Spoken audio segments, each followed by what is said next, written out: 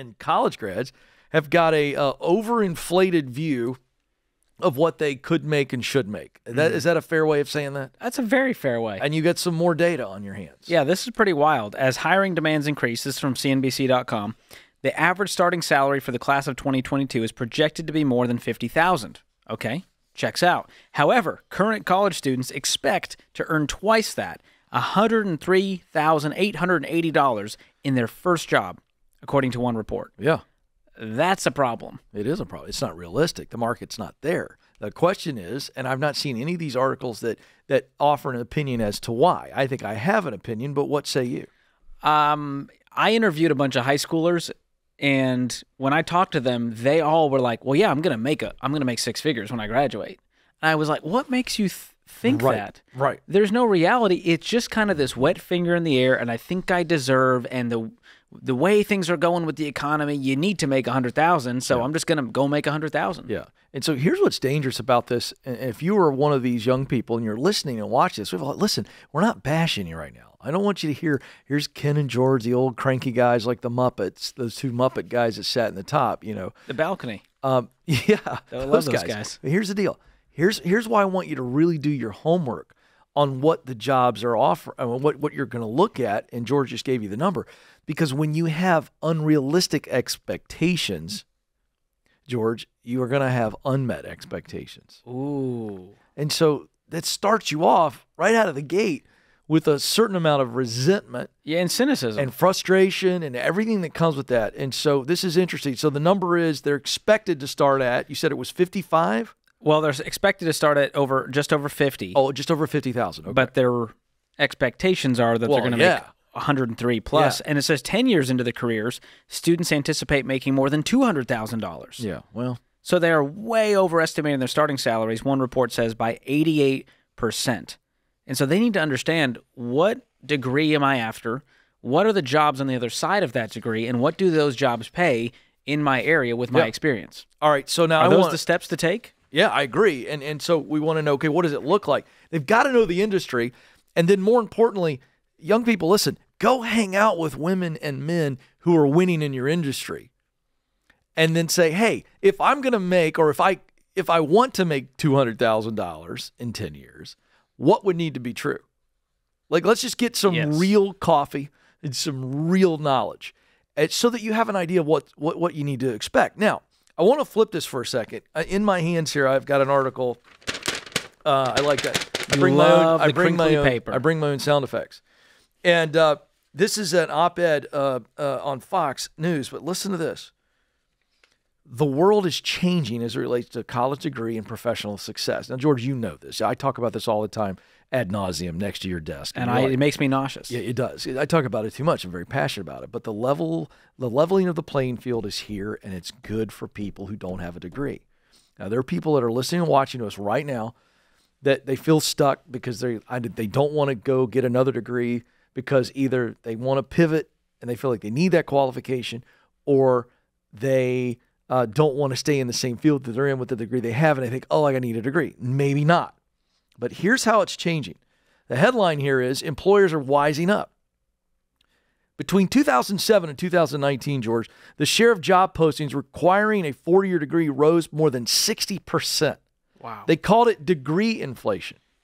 So it was a little bit of a monkey see, monkey do. Everybody's doing it. We don't want to be the ones that aren't doing it. And we feel like, well, we're going to get the riffraff. We filter the riffraff out because if you don't have a degree, you're not as good as somebody else. And I'm being honest. I'm not trying to play on some populism here. Well, it's kind of like the credit score. It's just an easy way to go. We're too lazy to look into their finances. The credit Great score call. tells us. It's a Great box we're call, going to check. George. Great call. So that the degree and the credit score have become somewhat of the same thing. It's a measuring tool, but does it actually matter? We know it doesn't. You got you bought a house without a credit score. That's right. And we teach this all the time. All right. So real quick though, here's what's interesting.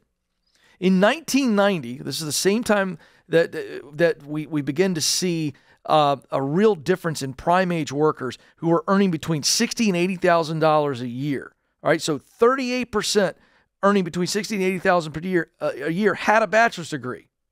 Okay, today the proportion is 52 percent. So it's about degree, degree, degree. But listen to this: four in ten recent college grads work in jobs that have not traditionally required a college degree.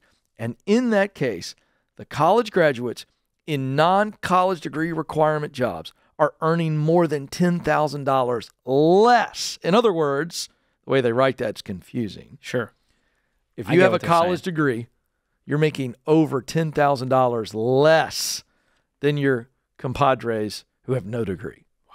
So, all that to say, two questions that I teach for our new audience members. If you've never heard me say this before, there's two questions you can ask. Is a degree the only way to get the job I want, or is it the best way? Now, you got to dig, but the research is readily available, George. It's not a mystery. No. And if the answer is They're no to either one, here's the great news. There's more and more jobs coming online. You have state governments. I didn't mention this. 11 states now have removed college degree requirements for you to get a job in their executive branch. 11 amazing. governors said we're changing it.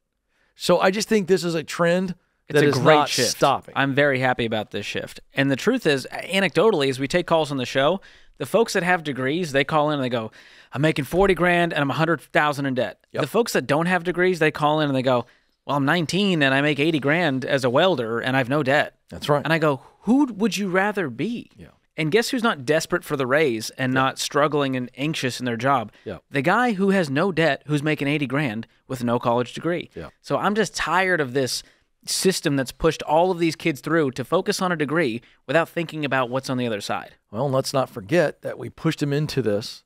They were told it was the right way to do it.